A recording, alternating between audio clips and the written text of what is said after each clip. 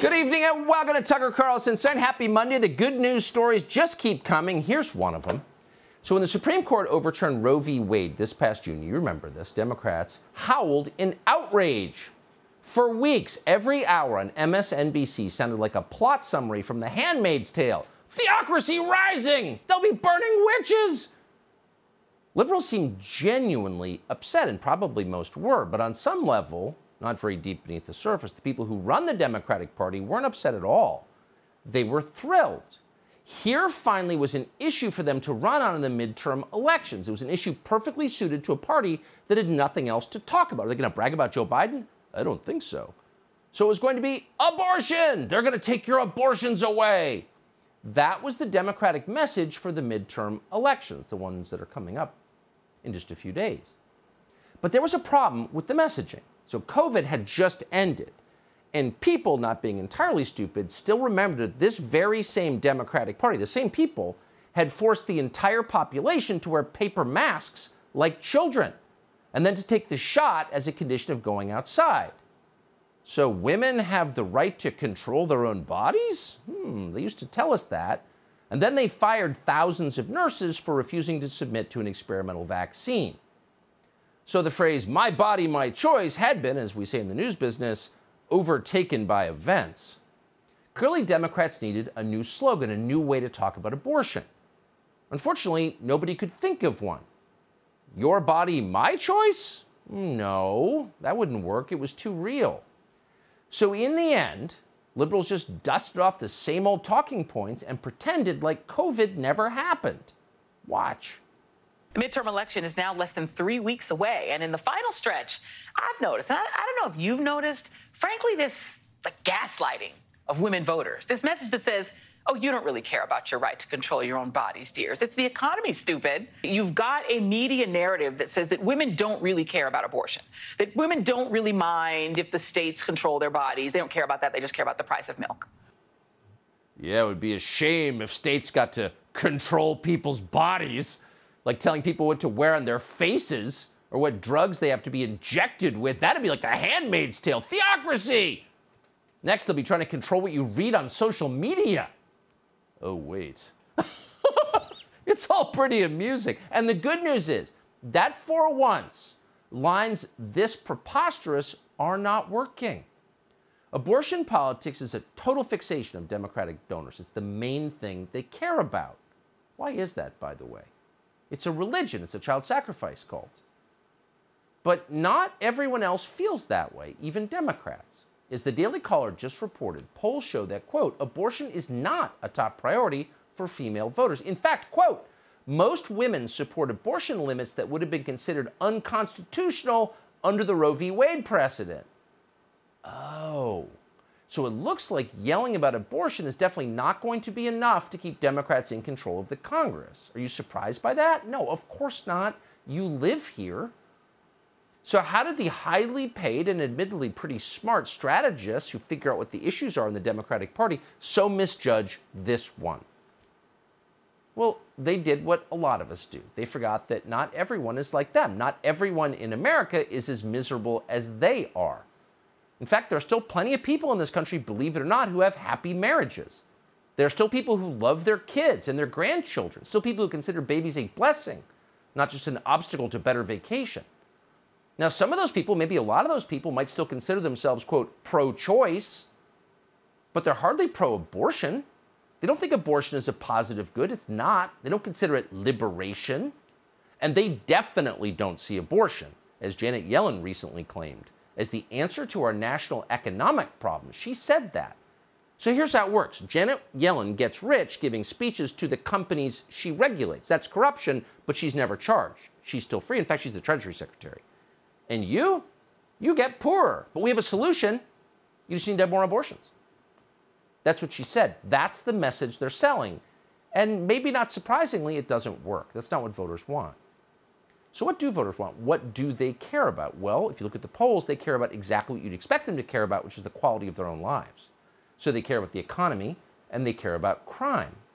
This is very obvious. You don't even need to look at polling to know it, but every poll shows it with maximum clarity. So, how do the media respond to this? Well, of course, doing their job. They've done everything possible to minimize both issues, the economy and crime. They've told us the economy is not in a recession. No, it's not. When, of course, by every measure, it is very much in a recession. And on crime, they've told you don't even talk about it. Only racists worry about crime. Racists, the one thing you don't want to be called. So, how should Republicans respond to that? Well, we have video evidence. Here's Kari Lake, who's running for governor in Arizona, deftly swatting away a reporter's claim that somehow people of color like crime. Watch this.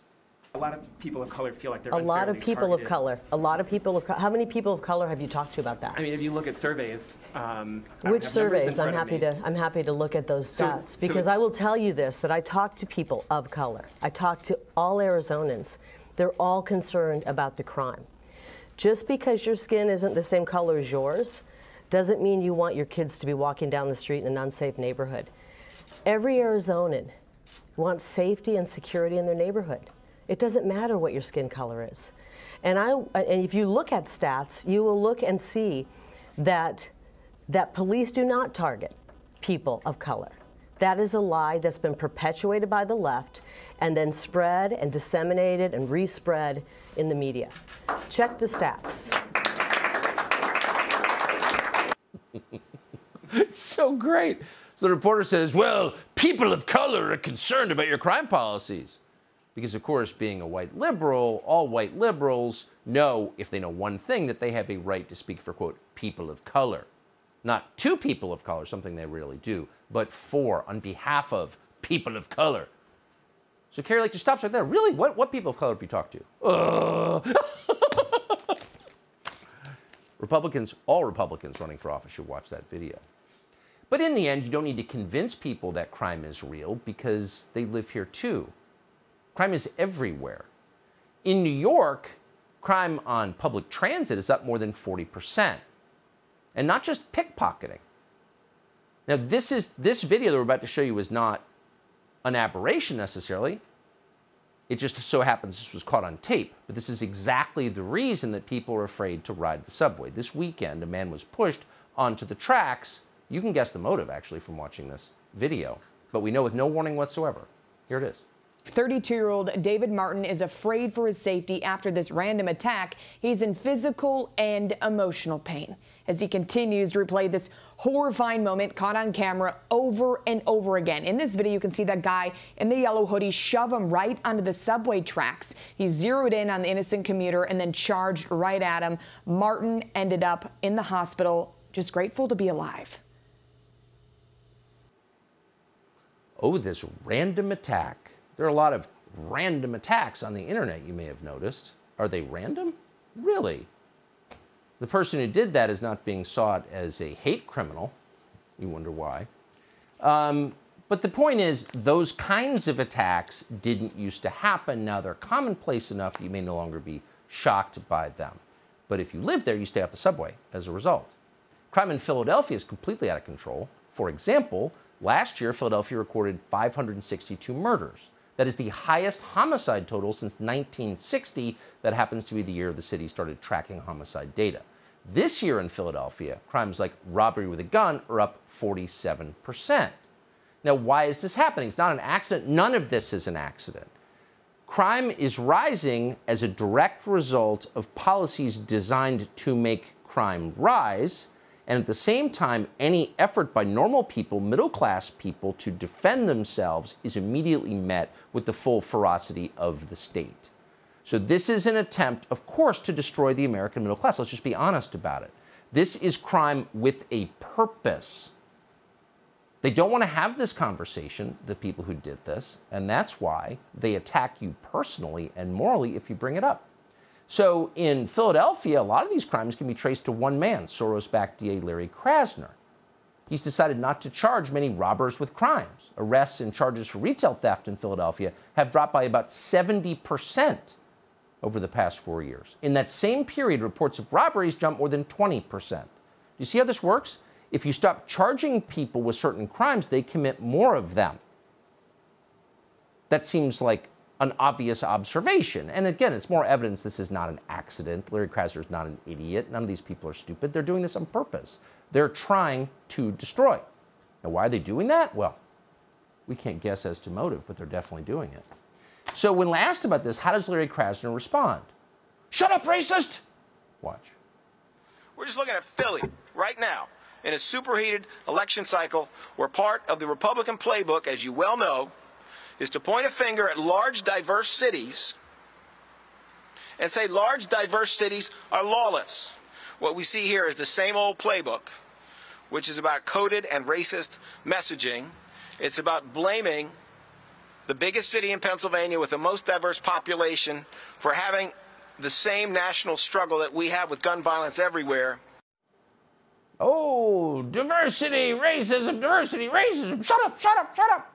So here you have another white liberal deputizing himself to speak for people of color against his political opponents. Have you figured out how this works? You getting tired of it yet? Voters are getting very tired of this. So tired of it that even some Democrats have started to figure out actually, maybe voters don't want to be shot, raped, or carjacked and then attacked morally if they don't like it. Kathy Hochul, who is in part responsible for the rising crime in New York, is now running last ditch ads promising to fight crime. Oh, really, Kathy Hochul? But it's probably too late for her. She's losing to a Republican in New York.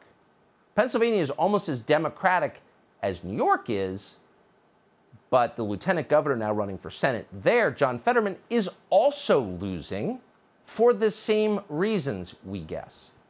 His challenger is Dr. Mehmet Oz, who joins us tonight.